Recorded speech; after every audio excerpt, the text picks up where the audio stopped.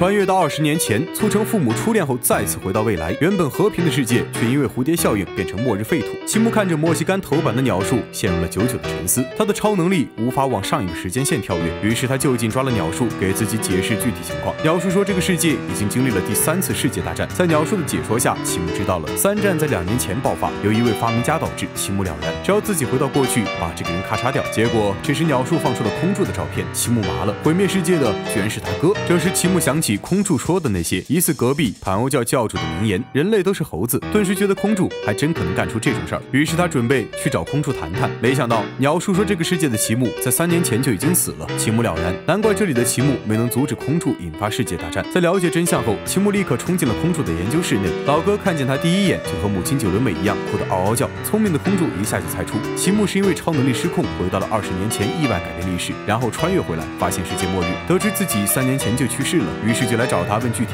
原因了。空柱堪称手握剧本的男人。齐木质问哥哥为什么要引发世界大战，空柱却说自己根本不在意人类，因为齐木死了他很无聊，所以研究了时间穿越机器想找回弟弟，没想到就引发了第三次世界大战。但这东西根本不管用，只能将时间倒流一天，这不就给齐木递了瞌睡枕头了？齐木利用穿越机器回到改变历史的前一天，这次他没有睡觉，而是等着父母诉说自己的相知相遇，正好遇上了空柱打电话回来。空柱看见齐木的第一眼就开口了：“怎么了？”一副穿越时空回来后的表情。哥哥，快把你手上的剧本放下来呀！掐灭了差点爆发的第三次世。界大战之后，齐木回到学校，发现不良转学生雅莲最近压力重重。面对好友海腾和燃堂的询问，他只是用笑容勉强糊弄过去。有些放心不下的齐木，在放学后悄悄跟踪雅莲，发现他遭到高年级的学长找茬。雅莲在转学前可是不良集团的老大，级别和隔壁某万的某麦差不多。虽然他不做大哥许多年，但揍两个找茬的还是轻轻松松。雅莲很惆怅啊，自从柴火事件结束后，他的不良身份就曝光了。但雅莲只想做一个普通的学学生，他也不知道要用什么法子才能解决这些找茬的人。这时。雅莲发现挑战书内有一封粉色信件，她本以为是新的挑战书，在一番细读之后，才发现这是一份情书。雅莲激动不已，同时她也发现了在背后吃瓜的齐木，这敏感的探测能力也是离谱。从雅莲看见情书的那一刻起，她连孩子叫什么名字都想好了。虽然是个不良，但雅莲在恋情上却是个纯情挂。收好信件后，雅莲告诉齐木，她打算去会一会这个叫九美子的女孩子。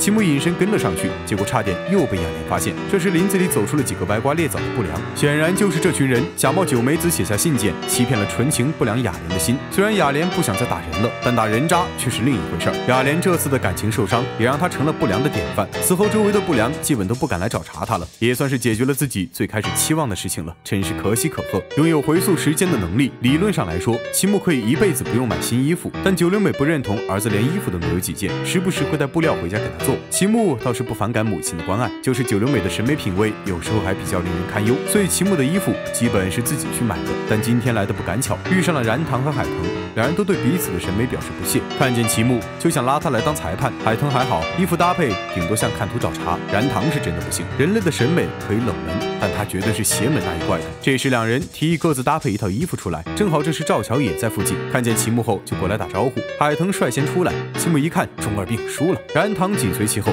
齐木认错，下定义太早了，是平局，烂的是各有千秋。这时海腾和燃堂又有了主意，由他们来给赵乔搭配服装，看谁的审美水平更高。赵乔本来不打算答应，但想到齐木可能会参加，只要自己把齐木搭配的衣服买下来，在下次见面的时候他换上，这谁顶得住？于是赵乔欣然答应。但凡被他穿过的同款。很快就被周围的女孩子买空了。齐木发现然堂选的衣服过不了审，他立刻出手选了几件赵乔幻想时的同类型的衣服，替代了然堂选的衣服，随后转身离去，深藏功与名。赵乔换上后确实非常满意，决定将这一套和齐木选的一起买下来。这你就宠他吧，齐木。第二天一早，小镇温度跌到了一个离谱的程度，国春冷得一度想辞职。九灵美摸出一条围巾递给丈夫，国春顿时满血复活，大喊着“心热人不冷”的鸡汤冲出了门，发现就连燃糖都因为温度贴上了暖宝宝。主人将希望。寄托在教室的暖气内，没想到教室的空调居然故障了。现在通风口内只能吹冷风，而因为暖气是全校通用，所以他们班还关不上，只能咬牙硬抗，或者凑到拼命锻炼的灰旅面前寻求暖意。本来这种情况，再直接请假回家就好了。连一向不太正常的燃堂都这么想，但偏偏今天 PK 学院毕业的搞笑艺人要回学校讲课，他们只能咬牙扛过了上午的课程。眼看搞笑艺人就要来了，窗子却被撞碎，雅莲瞬间冻成了冰雕。这时谐星出现，一番关照让众人奇迹般觉得温度回升。实际上是齐木看不下去了，利用超能力暖膜隔绝了破掉的玻璃，让吹进来的冷风变成了暖风。结果他自己被谐星讲的冷笑话给冻住了。当天放学的时候，齐木被老师留住，因为彩虎最近去了迪拜，老师需要齐木几人帮忙去一趟彩虎家转交要用的资料。彩虎少爷一看见四人，立刻摆出高高在上的态度，一口一个平民的叫着。然堂倒不怎么在意，他对彩虎家的大房子还挺好奇，想进去参观一番。彩虎自然乐意显摆，然而雅莲嘴硬的很，就算知道百件高昂的价格，仍然咬牙装出没什么了不起的样子。海腾倒是非常喜欢那些石像，结果在得知石像不可以移动后，顿时失去了兴趣。彩虎遭受打击，继续在众人面前炫富，然而再多的钱财都不能打动几人。于是彩虎叫出了自己最宠爱的大老虎，试图用萌宠收获众人的仰慕。没想到老虎在然堂面前乖巧的像只猫咪。四人参观了一下，觉得没兴趣，立刻就离开了。这让彩虎觉得自己的地位遭到了挑衅，他的自尊心不容许被打脸。于是彩虎立刻下令改造了房子，并且在第二天放学就绑架了齐木一行人去参观。雅莲和海腾约好绝不向金钱低头。然堂说自己父亲死得早，这还是第一次去游乐园。